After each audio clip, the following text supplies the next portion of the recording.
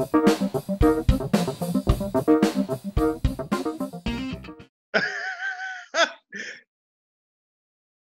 you muted now? Ah. Is that you now? I'm a what? We told Are you you had to unmuted? unmute yourself. Well, yeah, I know people have been saying that for years. Steve, what the hell are you wearing? Oh yes, yes. I, I couldn't work out how to do that. Uh, you know, the kind of the fancy Zoom background. So I just decided I would decorate the foreground instead. Yeah, I'm not really sure that constitutes decoration, Steve. Sorry, what is that? Oh yes, yes. Very funny, very funny, Dan. Yes, very good, very good. And how dare you, Rach? I will have you know, this is an authentic 1960s Star Trek, the original series uniform. Ready guys, guys, okay. guys. Uh, look, I've got to get back to catfishing my neighbours, so can we just get a move on with this? Oh, yep, yep, yep, yep. Okay, okay. So listen, we have the last episode of Those Who Can't Do Lockdown coming up, and we need a big finish, you know, as sort of a grand finale, as it were. Yep. Okay. Well, I've been thinking about this, and I was thinking we could recreate the end of the Wicker Man using finger puppets right? Well, yeah. I mean, I mean that sounds class Rach, but you do have somewhat of a history of setting yourself on fire. So. Oh, oh look, look, summer is a coming. No, no, no, no, no, no, no, no. Listen, Rach. Sorry, finger puppets do not say grand finale to me. Well, okay, what have you got then? Ah, well, I reckon that I should take our audiences on a grand tour of my extensive collection of Doctor Who merchandise. I have some 1970s jigsaws that will take your breath away. Steve, Steve, Steve, What? refer to the raccoon. Oh, oh.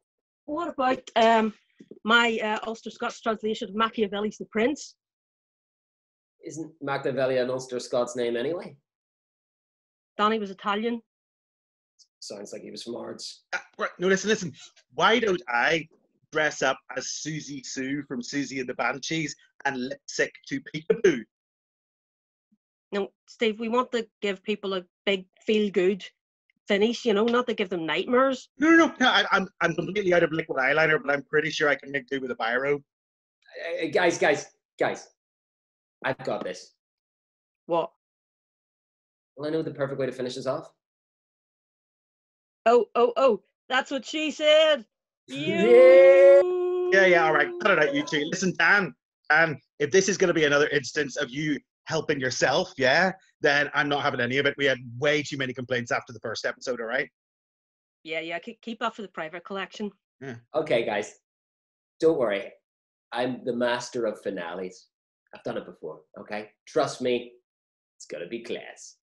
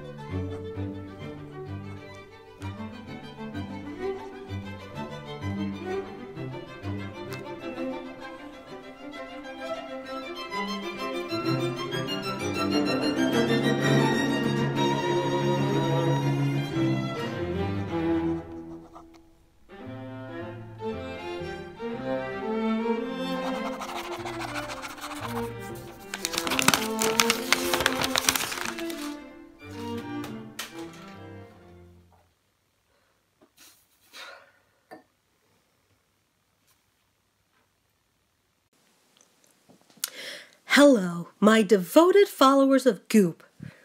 That's right, it's me, Gwyneth Paltrow, checking in with all my loyal Goopies. I hope you're all keeping well and safe in these, as they say, uncertain times. As you know, we're all in this together. And so, although I am self isolating in my 27 room palatially appointed mansion in the Napa Valley, I have specially tricked out a couple of rooms to make it look like I am talking to you from a regular three bedroom semi detached house in, for example, South Belfast. This shows that I can relate to all of you non luminous, ugly people out there who can't even afford to drop $275,000 on a Lunar Rock edition of Norman Mailer's MoonFire whilst chomping on a dehydrated caviar bar. Now, as you know, I have been a bit quiet over these past few pandemic filled months. well, I'm not gonna lie to you. I was a teensy bit discombobulated at first, what with people listening to actual qualified actual scientists and completely ignoring the task force that I had set up to explore how psilocybin infused crystals could be the new healing modality when it comes to viral loads.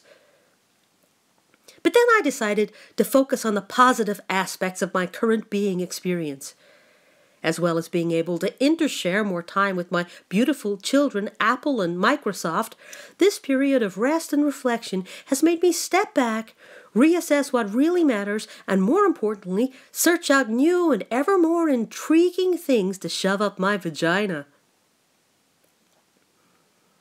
That is not to say that I am unaware of the suffering that is happening in these uncertain times. But as that beautiful saying goes, when it is night, look for the stars, and when it is raining, look for ways to monetize that crisis. As someone who has already sold a toilet roll for $965 even before all of this, I swear I am born for this moment.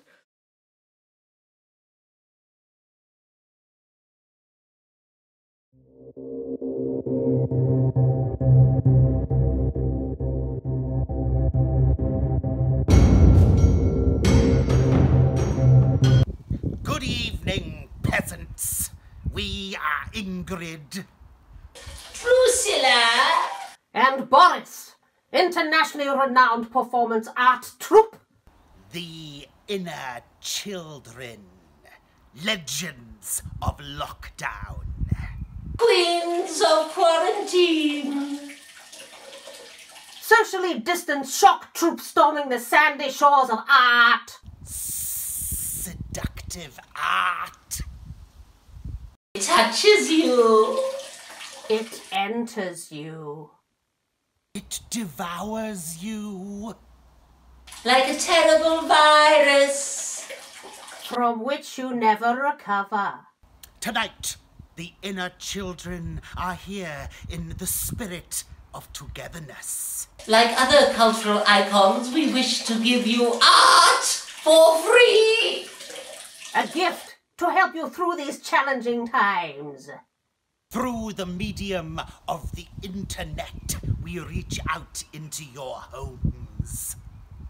With important messages during this time of worldwide crisis. You are welcome. It is time for you to bear witness to our new work, especially designed to deliver hope positivity and warm thoughts to you during your time of isolation. It is called. You brought this upon yourselves. We begin. Listen up, you Philistines, to the lesson that we teach. Cutting through all the fake news like a syringe full of bleach. You turned your back on beautiful art. It seemed like such great fun. Now art has sent you to your room. To think about what you have done. Your TV schedules were full of dross. Your cineplexes too. Bookshops filled with celebrity rags. Music, an execrable stew. But art will give you a second chance. Art can heal in time. But pay heed, foolish Philistines. To our devastating rhyme. Use your time in lockdown. Maintain your social distance. Clap loud for art and walk the path. Of cultural self resistance. But when all this is over, And you go blinking into the light. Remember what we've said to you. Do what you know to be right. if you falter, and oh dear peasants, I fear not if but when. The inner children will be at your door. To lock you down again.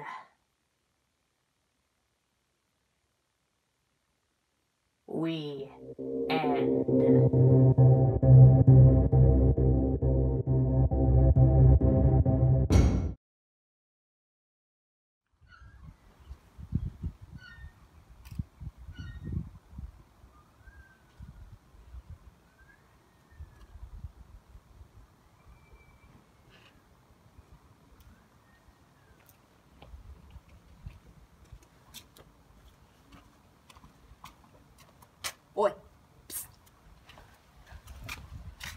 Want to buy some yeast?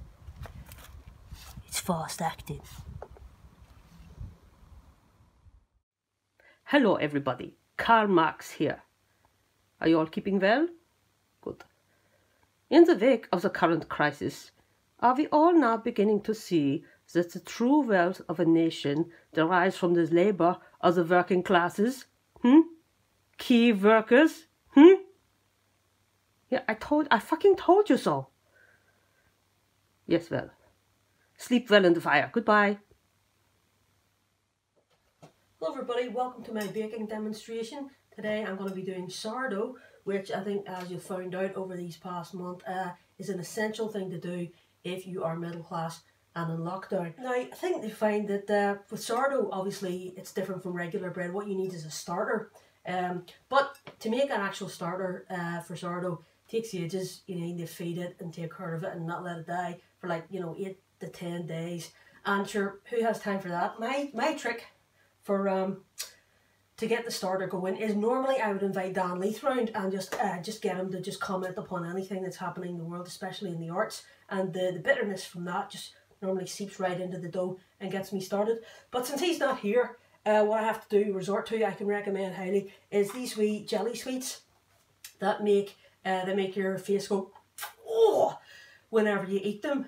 So um so that's what I'm going to use for these.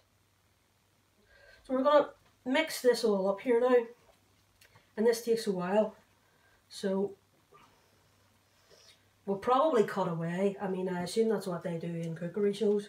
Now, in this cooking demonstration, I'm going to ask you if you find it interesting or helpful, make a donation. You know, just via PayPal or something. And uh, you know, normally I wouldn't ask, but uh, but this time I'm going to ask you to maybe give us something. Why? I'll tell you why. Because I need the dough. Huh?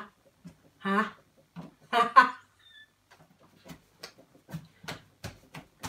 so once you've got something that looks approximating that, simply put it back in the bowl. Uh, maybe put a little bit more olive oil on top of it.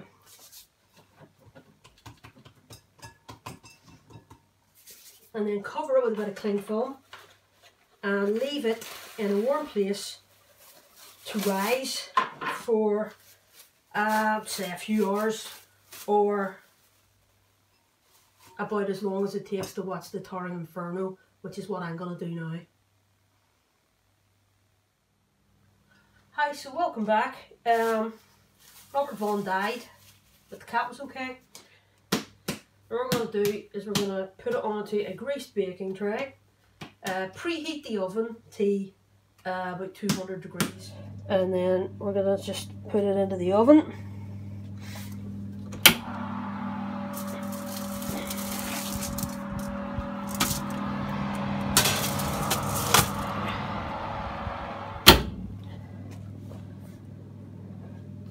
and uh, yeah, leave it there for about as length of time as it takes for them to get into the uh, into the castle in Where Eagles Dare.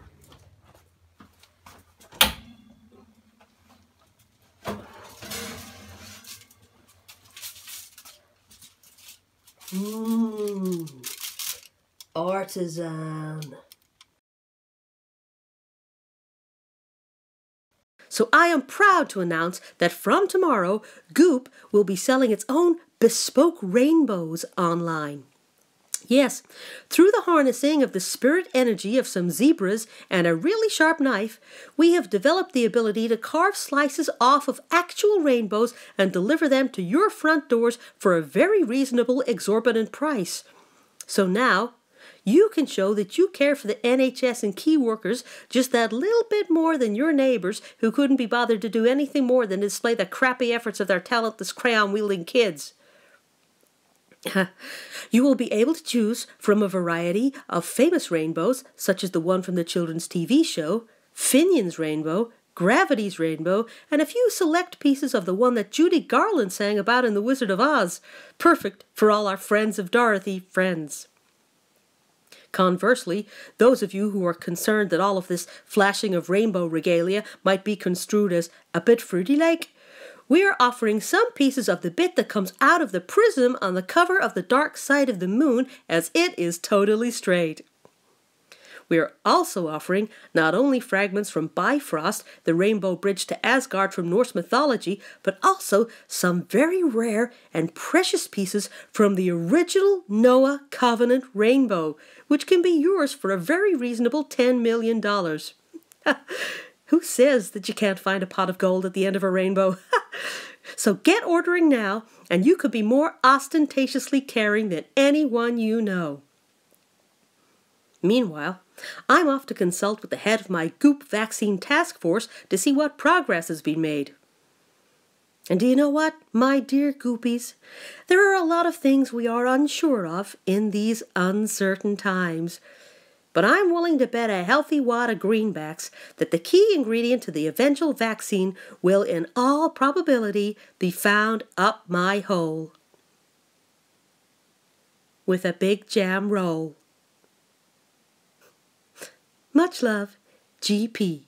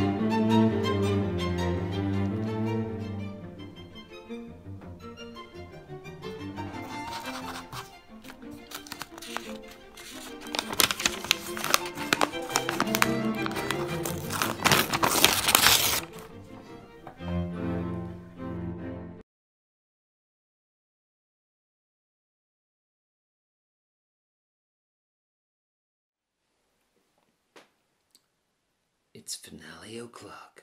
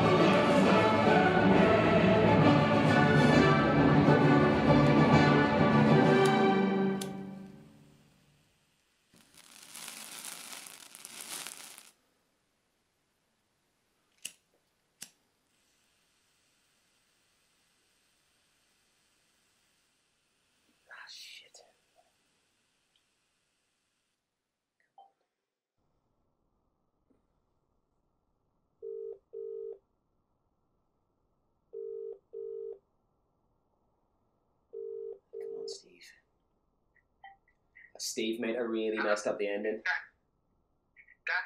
Yeah? Dan, get, get, get, get out of the house, Dan. Dan, get, get, get out, get out. He's coming. He's coming. He's coming. Ah! Ah! Steve? Steve?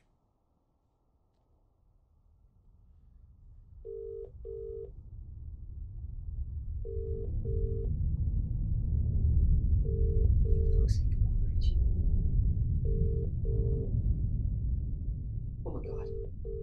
Oh